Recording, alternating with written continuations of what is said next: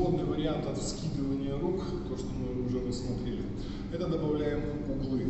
То есть вверх под 45 и сбоку. То есть фактически те удары, которые мы можем наносить.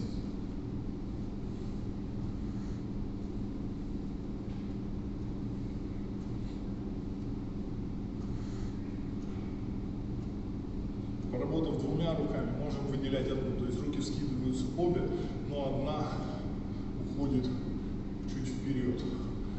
Но добавляем те же углы.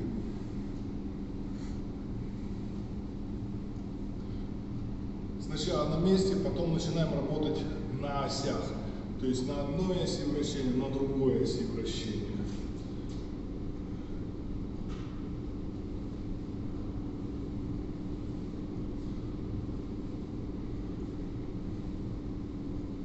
И, соответственно, в противоположном варианте поменяли ось.